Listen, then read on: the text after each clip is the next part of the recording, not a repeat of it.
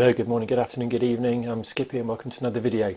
Now this is just going to be a quick video, um, quick update on the Hurricane which is now finished and also if you've seen some of my other videos I've had trouble hand launching the models so I decided to try and rectify that and build a little dolly. So uh, I'll just show you that in a second. But regards to Hurricane, it's all finished, it's all nicely coated now, satin varnish, sealed all the decals in, prop and spinner on, push rods all fitted, it's all tuned up now. Um, I think it looks a lot better with the satin finish to be honest. Comes in at 223 grams without the battery, 300 grams with the battery, so not too heavy, not too horrendous. Um, but I'll still have to put my operator ID on it because it's obviously over the 250 grams. So really happy with how it looks. Uh, and what I don't really want to do is on its first flight on the maiden is throw it into the ground like I did with my Messerschmitt. So that's why I thought, right, how can I resolve that? So I thought I'll try and make a dolly. So I'll go and get that and show you what that looks like. So what's a dolly when it comes to a controlled aircraft or any aircraft really? It's basically um, some landing gear that isn't fitted or isn't physically part of the model. Um, the idea is that the airplane uses it to take off and as it gets airborne, the dolly just stays on the ground, much like the old German Komet used to do, the jet there. Um, used to drop its uh, gear, its dolly gear, and off it would go. Um, so I wanted to make something for my 30 inch models um, because if you have seen some of my videos, my launches aren't always the best. Um, I still need to perfect those, but I don't want to crash the Hurricane on its first flight, so I thought, I know, I'll build a dolly, see how that goes. Um, so what did I do? Well, this is it in its completed form.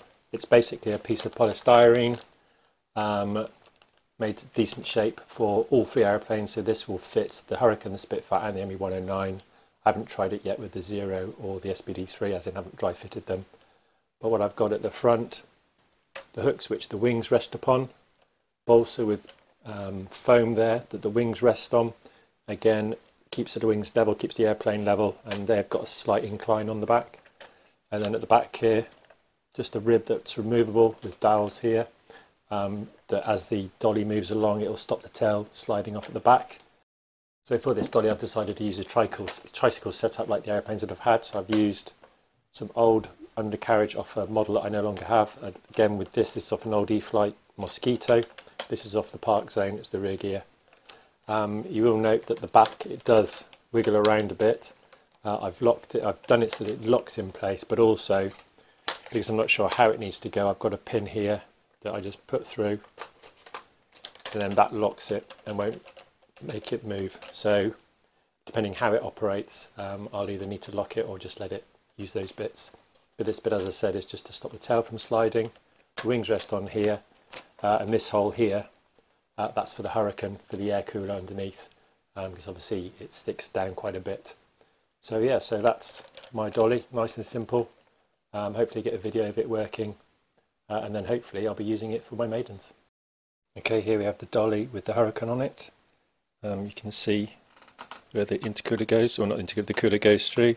Dolly sits sits nicely and evenly on the wings there. The wings butt up against the metal and they're slightly bent forward and I'm hoping as it lifts it'll just push it and off it goes.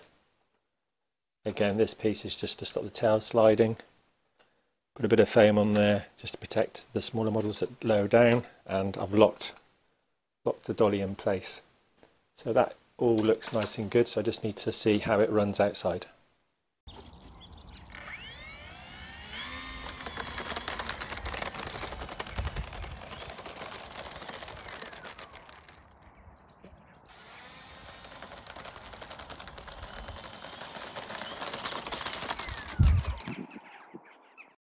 There we go, so that's promising, uh, as long as cats don't get in the way.